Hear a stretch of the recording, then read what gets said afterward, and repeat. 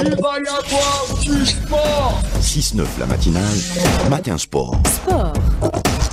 Il est 7h, euh, bientôt 17 minutes sur les ondes d'Alger 3. Vous écoutez 6-9, la matinale. Et le plaisir de retrouver notre ami Ali Hamouche qui revient après la canne. Il nous a abandonnés pendant la canne de la Côte d'Ivoire. Il est de retour. Bonjour Ali Hamouche. Bonjour Fatima, plaisir partagé. Allez, on va commencer avec de la natation. Championnat du monde à Doha au Qatar. Euh, Jawad Sioud rate la finale euh, du 200 mètres 4 nages.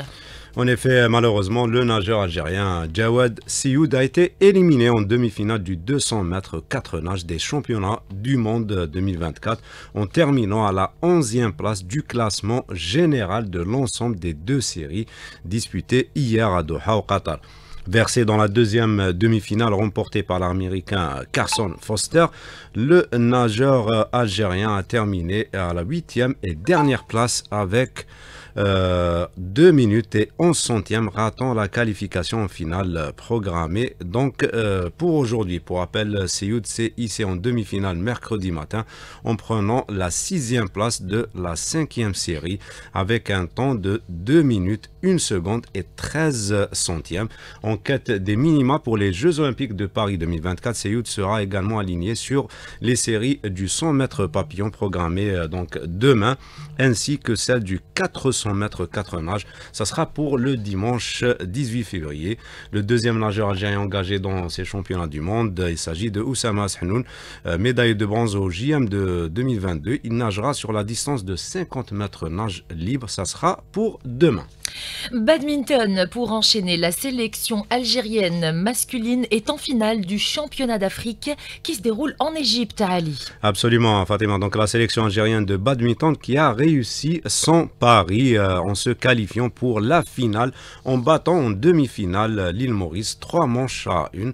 En finale, euh, nos messieurs affronteront le Nigeria, donc qui euh, a battu l'Égypte, le pays organisateur, trois manches à deux. Sur cette victoire, on va écouter le directeur des équipes nationales, Mohamed Debabesh, contacté par Rostom Yahya Sherif. Ils ont réussi à battre euh, l'équipe mauricienne. Et l'équipe mauricienne est une, équipe euh, solide. Euh, demain le final, c'est des champions en Afrique. Ils ont des, des paires, on s'appelle en pays et le Nigérien. Ils ont l'effectif. Donc, ça va être euh, difficile, euh, Inch'Allah, euh, le favori, nous bien préparés psychologiquement surtout. Le quatrième édition pour l'Algérie, Inch'Allah.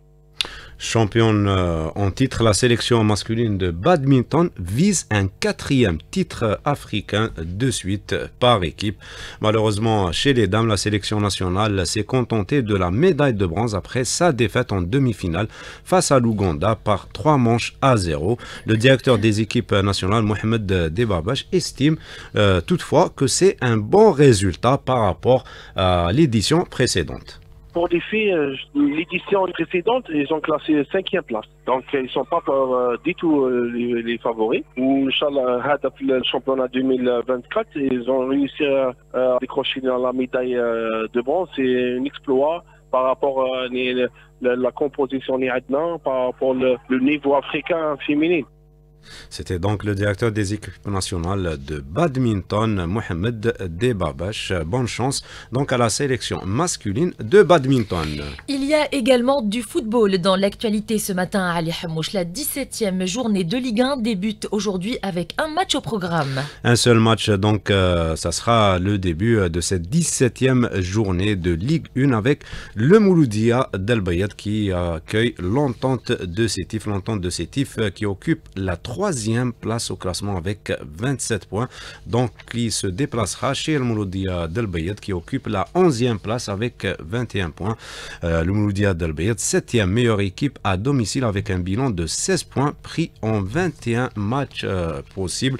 Donc, euh, l'entente de Sétif qui vise un bon résultat sous la conduite de son nouvel entraîneur, le Tunisien Souyeh, l'ex-entraîneur de la JS Kabylie, donc qui fera ses débuts à l'extérieur. Et en cas cas de victoire, l'entente de Sétif occupera seule la troisième place au classement. Ça sera un classement provisoire en attendant le déroulement des autres rencontres prévues demain, vendredi, avec USM Khenchla face à l'USM Alger, le Paradou qui accueillera la JS Kabylie, l'AS qui sera face à l'étoile sportif de Ben Aknoun, et samedi, on terminera avec l'US Souf qui jouera face à l'US Biskra. Et la JS Saura euh, qui jouera face au Mouloudia d'Oran, le Mouloudia d'Alger euh, qui affrontera le CS Constantine. Ça sera le choc de cette 17e journée. Le leader, euh, le Mouloudia d'Alger, qui voudra certainement conforter sa place de leader alors qu'une seule rencontre a été reportée. Il s'agit de NC Magra, Shabab Riyadi de Bilouizdad et au sujet du Shabab Riyadi de Bilouizdad. Donc, qui sera appelé à affronter l'Ehli du Caire. Ça sera demain à 20h au stade du Saint-Juillet pour le compte de la mise à jour euh, de la Ligue des champions du groupe D. Et en cas de victoire, le Shabab Riyadi de Belouizdad prendrait les commandes de ce groupe D et fera un grand pas vers la qualification pour le prochain tour.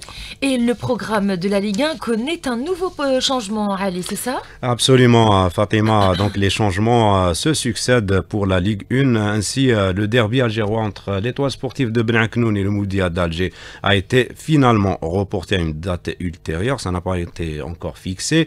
La 18e journée a été décalée au 24 et 24 février. La 19e journée se jouera finalement le week-end du 1er et 2 mars, alors que les 16e de finale de la Coupe d'Algérie sont prévus pour le 8 et 9 mars prochain.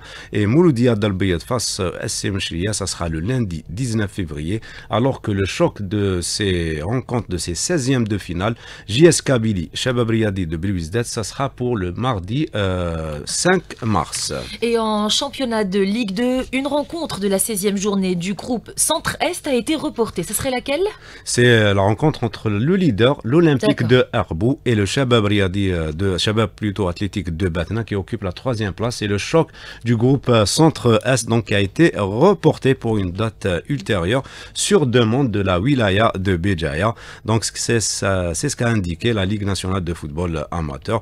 Pour rappel, l'Olympique de Herbou est leader, on le disait, de ce groupe Centre-Est avec 38 points alors que le Shabab de Batna occupe la troisième place avec 29 on reste avec le football à Ali, football à l'étranger en Europe et suite hier des huitièmes euh, de finale de la Champions League. En effet, il s'agit des huitièmes de finale aller de la Ligue des Champions et la Lazio de Rome a créé la surprise en s'imposant à domicile face au Bayern de Munich un but à zéro.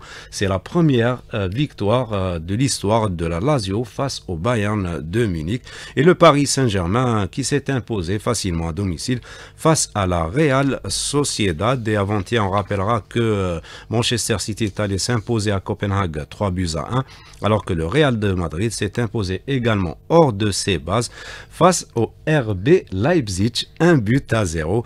Et suite de cette Ligue des Champions, ça sera la semaine prochaine avec des rencontres très intéressantes à suivre avec Inter de Milan, Atlético de Madrid, PSV Eindhoven, euh, Dortmund et Porto Arsenal et enfin Naples qui accueillera le FC Barcelone. Et euh, aujourd'hui, il y aura les 16e de finale de l'Europa League avec la présence de plusieurs internationaux algériens. Ils seront au nombre de 4 Algériens qui seront appelés à disputer ces 16e de finale aller de la Ligue Europa.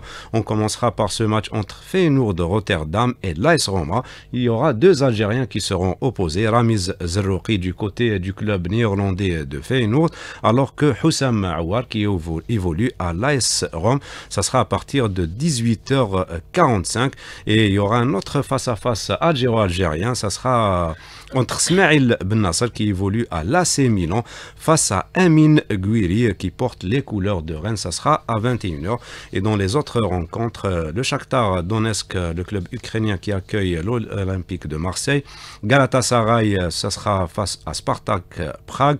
Les Young Boys de Berne, le club suisse qui accueillera Sporting Lisbonne. Lens qui sera face à Fribourg, ça sera à 21h. Benfica qui affrontera Toulouse. Et enfin, à 21h, Braga, le club portugais, qui sera face à Karabakh FC, le club azerbaïdjani. Dans le football également, Ali Hamouche, cette surprenante nouvelle, un international néerlandais condamné à 6 ans de prison.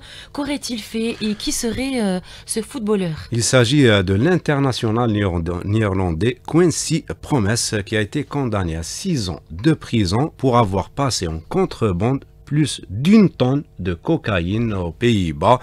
Le président du tribunal d'Amsterdam a estimé que Promesse avait joué un rôle crucial dans l'importation de 1,363 kg de cocaïne en provenance du Brésil. C'était en 2022 via le port de Belge d'Anvers vers les Pays-Bas. Promesse qui a donc plaidé non coupable et qui va faire appel selon ses avocats. Le juge, pourquoi le juge a, on va dire, argué dans son jugement que l'attaquant de Spartak Moscou, également passé par l'Ajax Amsterdam, était un exemple pour beaucoup de jeunes joueurs. C'est pour ça que la sentence a été élevée à 6 ans de prison euh, ferme.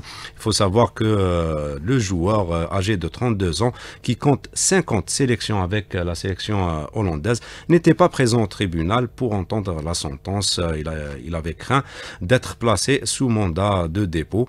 Et pour le moment, c'est pas sa première promesse, hein, puisqu'il a été déjà condamné à 18 mois de prison dans le cadre d'une autre affaire pour avoir poignardé un cousin pour avoir volé un colis. D'accord, donc on peut dire que c'est un récidiviste, hein, mais dans un autre domaine. Mais là, il a frappé fort avec plus d'un kilo de cocaïne. Exactement. Et on termine avec le chiffre du jour. Ali ça nous a manqué les chiffres du jour. Et aujourd'hui, vous nous avez ramené 275 millions de dollars. Ça a beaucoup plus euh, manqué à notre réalisateur. Youssef Abid, je sais, c'est un fan de cette euh, rubrique. donc, 275 euh, millions de dollars. C'est ce qu'a gagné Cristiano Ronaldo sur l'année 2023 seulement. CR7 devient ainsi le sportif qui a gagné le plus d'argent en 2023 grâce notamment à son transfert au club saoudien d'El Hilal euh, représentant donc les 200 euh, plutôt 233 millions de dollars provenant de son contrat et 42 millions de ses sponsors. Et en deuxième position, ça c'est une surprise, c'est un joueur de golf. Il s'agit de l'espagnol Yon Rahm, donc euh, qui est troisième mondial au golf, qui a créé la surprise. Donc en signant un contrat de 510 millions de dollars sur trois ans avec le circuit Live Golf financé par l'Arabie Saoudite. C'est le point commun entre Ronaldo et le golfeur espagnol. Donc euh, Rahm qui est à la deuxième position devant, loin devant Messi et le basketteur américain LeBron James. Merci beaucoup Ali Hamouche pour toutes ces informations. Ali Hamouche, vous aurez le plaisir de le retrouver demain, Inch'Allah, et après-demain aussi, 7h15 et 8h15. Bonne journée Ali. Merci à vous de même. À demain, Inch'Allah. Au revoir.